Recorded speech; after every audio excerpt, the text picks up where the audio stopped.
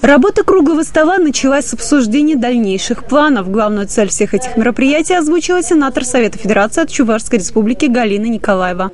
Уважаемые коллеги, я вас хочу проинформировать о том, что наш комитет по науке, образованию и культуре Совета Федерации активно занимается в течение этого года подготовкой, а также, я думаю, обсуждением и принятием тех вот трех государственных важнейших документов, о которых мы говорили в ходе старта Года культуры. Но ну в конечном итоге добиться поставленной цели. Какой? Чтобы все наше население было духовно обогащенным, чтобы мы были нравственно чистыми, чтобы мы были готовы ценить свое прошлое и, более того, быть готовыми сохранить наше историко-культурное наследие.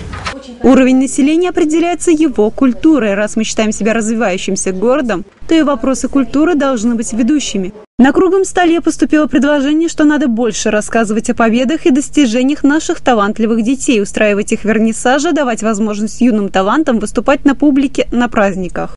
Задача взрослых, родителей, скажем, педагогов, даже дошкольных образовательных организациях выявить способности ребенка. Есть музыкальные занятия в наших дошкольных учреждениях, есть все-таки уроки музыки в школах. Поэтому если мы вместе все педагоги, которые работают с детьми, будем устремлены и нацелены на то, чтобы выявить таланты ребенка, подсказать родителю, как можно их развить, то мы сделаем уже, в общем-то, важный шаг для развития ребенка. Необходим личный пример, чтобы дети росли достойными членами общества, отметила Галина Григорьевна. Все, что касается порядочности, скажем, да, гражданской, например, позиции, ответственности, законопослушания, эти законы можно всегда, скажем, например, усовершенствовать и внести изменения. Я согласна, что такие факты не должны быть.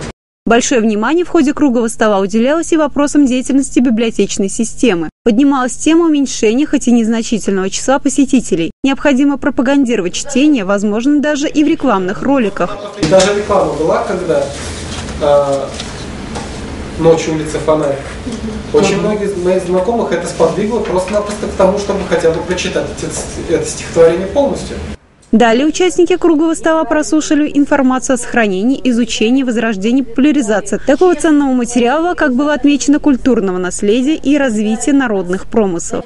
Галина Григорьевна отметила, что если в республике не хватает четкой политики в отношении культуры, тогда нужно предпринять меры плавно вот основы государственной культурной политики должны в законодательно войти в закон о культуре. И еще у нас будет стратегия развития культуры в Российской Федерации до 2025 года. Я надеюсь, здесь будут вопросы и укрепления материальной базы, здесь будут вопросы и организации содержания деятельности, и подготовки, и поддержки кадров, повышения их квалификации, ну и создания, наверное, определенных условий.